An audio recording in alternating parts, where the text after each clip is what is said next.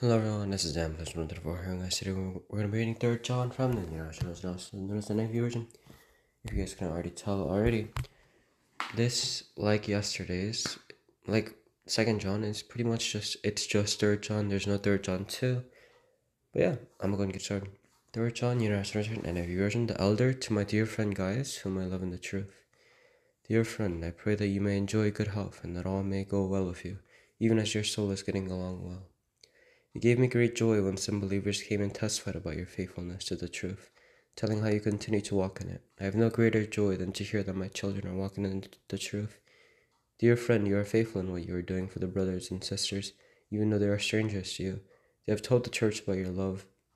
Please send them on their way in a manner that honors God. It is for the sake of the name that they went out, receiving no hope from the pagans. We ought therefore to show hospitality to such people so that we may work together for the truth.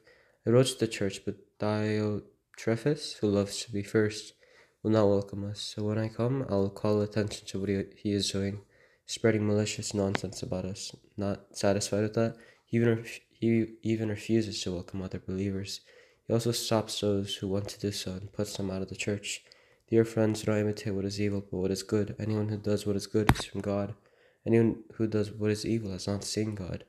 Demetrius is well spoken of by everyone, and even by the truth itself.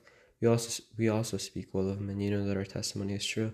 We have much to write to you, or we have much to write you, but I do not want to do so with pen and ink. I hope to see you soon, and we will talk face to face. Peace to you. The friends here send their greetings. Greet the friends there by name.